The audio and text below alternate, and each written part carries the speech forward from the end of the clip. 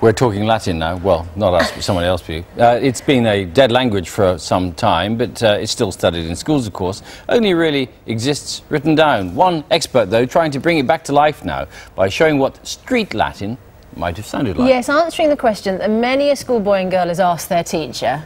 But, sir, miss, what did it sound like? George Sharpley's made a mock documentary. It's called AD 61, and we're going to talk to him in just a moment.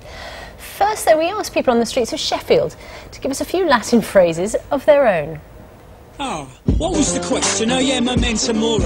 It means remember it's inevitable that we will all die. Dico ut caveat emptor. Dico ut caveat emptor.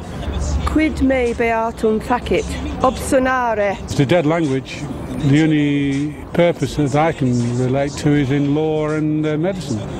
Other than that, I think it's for the posh people to make themselves look a bit more educated than they are. Memento mori, memento mori. Well, George Sharpley's written several Latin textbooks and came up with the idea for the documentary. We'll see a clip from it in a minute. Olivia Cockburn is in the film and also an expert in spoken Latin. Good morning to you both. Good morning. Olivia, Salve. Salve. Salve. Salve. and, uh, Salve. Salve. Salve or Salve? Salve Well- is vulgar, salve is classical. There we are. Okay. Oh. all right, okay. So, Upgraded already. that, that's it. Always choices, yes. Um, how do we know how it was spoken? Well, um, the Romance languages are, are, show us, um, they give us a few clues. Uh, because obviously, if you compare the same word, um, you know, across the Romance languages, you can have an idea of how it might have been pronounced. The. Romance languages being... French, Spanish, Italian, Portuguese.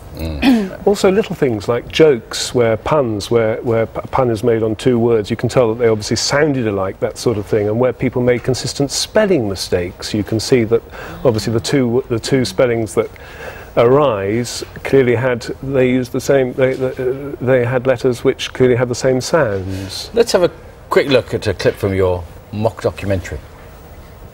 Quid faciam, si mea tota domus plena est cum plorato sempiterno. In culina, in triclinio, in orto, ubiqui sunt vultus tristes. Tui servi? Omnes. Res est facilis, illos juve laetos esse. Ah, I can see where you're coming from now because it sounds a little bit Italian, it sounds a little bit French. Exactly, yeah. Yeah, okay. Now, is it important that we know how it sounds? I mean, because it does answer that question that students ask all the time about. Absolutely. Latin is, I mean, all we have left of it is what's written down. And what we've tried to do is to, to, to re-establish that very important dimension of the language, the sound of it. And with Olivia's help, who's a particular expert in colloquial Latin, we've, tr- we've tried to create what uh, Latin would have sounded like in the street. So that's, that's our aim. So your, your film AD 61 is quite a dramatic story, actually, about what happens after a slave kills his master and the, the, the consequences there are based on fact. Yeah. Yeah. Yeah. that happened. I mean, there was a, there was a he was the city prefect, sort of equivalent of Boris Johnson, if you like, of his time. He was bumped off by one of his slaves, and the law was that if you were bumped off by one of your slaves, all the slaves in your household had to be put to death. Seems a bit harsh. Uh, very harsh, and there was quite an uproar. There was a huge backlash. And And Olivia, do you, I mean, I don't know what the figures are for people studying Latin, but I, I very much doubt they're increasing. Do you think that if people uh, heard how it was spoken and, and see drama like this, that they're more likely to learn? I, it's a really, really good question, and I, I personally think that uh, if we promote the, the link between the Latin and the Romance languages and how if you learn Latin, it will help you learn uh, French, Spanish, Italian, um, I think that perhaps more people will learn to. And very quickly, where can you see your, your film AD 61?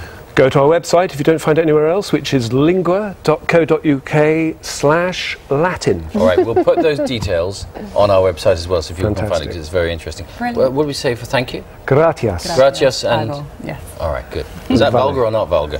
that's All right. both. Not too bad. We're never vulgar on this programme. Lovely to see you. Thank you so much.